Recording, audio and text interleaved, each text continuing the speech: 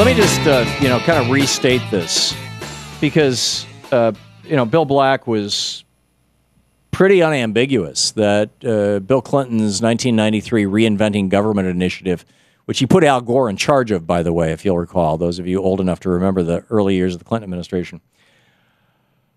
A large part of that had to do with deregulating the banks and and you know cutting back on on agencies in the guy you know it was a very very kind of republican concern. this is the new democrats and so the genesis of today's disastrous economy and the crash and everything really you know it was put on steroids certainly by by by Phil Gramm with Leach Bliley and the Commodity Futures Modernization Act but Bill Clinton enthusiastically signed both of those too but back in 93, he was doing Robert Rubin's work and Alan Greenspan's, you know, deregulating the banks. And so somebody calls up and says, well, you know, given that and how Bill Clinton has managed to make himself into a multimillionaire now since he left the, the White House, how could you possibly support a Hillary candidacy? And my point, and I, and I, we need to remind ourselves of this over and over and over again. There's no saviors. We have to save ourselves. This salvationistic thinking that is part and parcel, frankly, of most of our major religions. Jesus is going to return, say the Christians. Mashiach is, you know, coming back, say the Jews, uh, uh, some of them. Uh, Muhammad is going to return, say some Muslims. I mean, you know, this uh, this messianic somebody will save us thinking migrates into our political world and we see it in the in the business world. Oh you know it's it, this is how they sell us the whole this myth of the job creator this nonsense about job creators.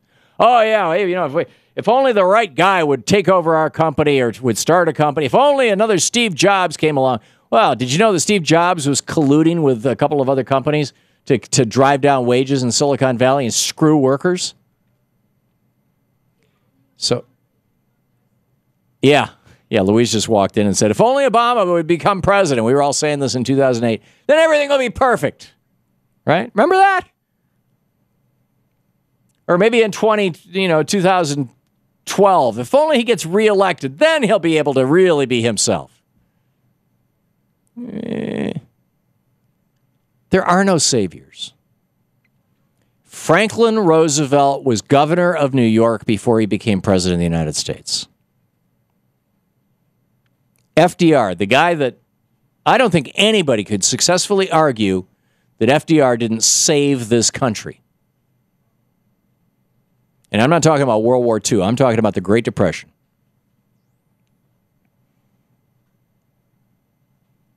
FDR saved this country and he created the modern uh, social democracy, whatever you want to call it, democratic socialist, if you want. I know that the right wingers will go nuts if I use that phrase, but there, you know, there is some truth to that. You know, Social Security, the right to unionize. These are things where society's needs are at concern as much as any individual's needs, and therefore qualify as being, at least in some small way, socialist rather than libertarian, rather than just, you know, hey, I got mine, screw you.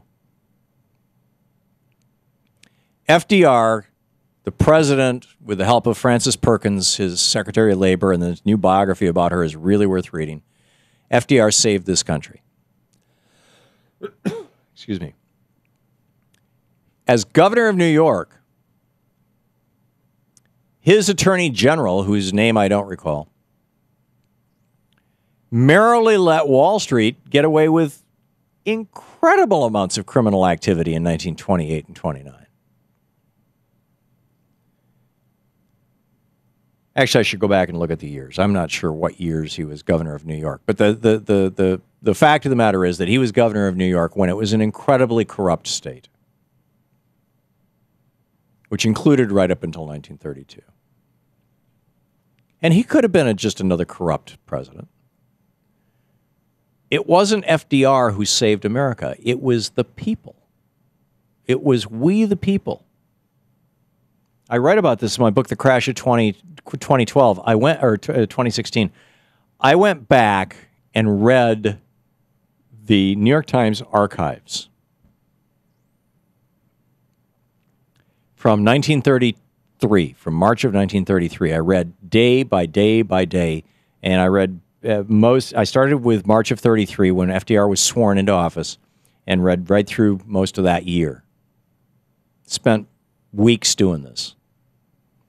And there was a, a woman reporter, and I'm forgetting her name, this is all in my book, in the, in the crash of 2016. There was a woman reporter who had, she was one of the very first female reporters of the New York Times.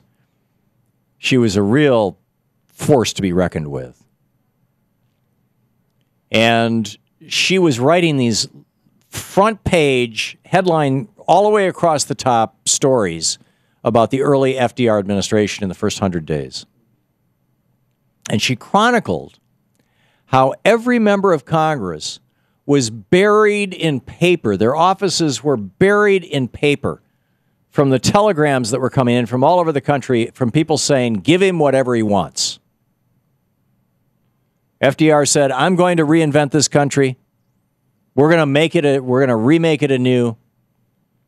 You'll recall he said, you know, to some generations, much is given, of other generations, much is asked. This generation has a rendezvous with destiny. People think he was talking about World War II. No, that, that was from his inaugural address. He was talking about the Great Depression. And the people overwhelmingly said, Do it! And he did it. And so that's why I don't think, you know, I, I think around the margins, it matters if the president is Hillary Clinton or, or Elizabeth Warren.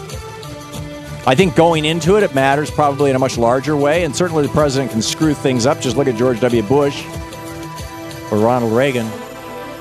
But if we, the people, are active enough and strong enough, it doesn't matter who's in that office. You're listening to the Thom Hartmann Program. Call 866 987 THOM. Because we will make them do it right. And case in point, Republican Dwight Eisenhower.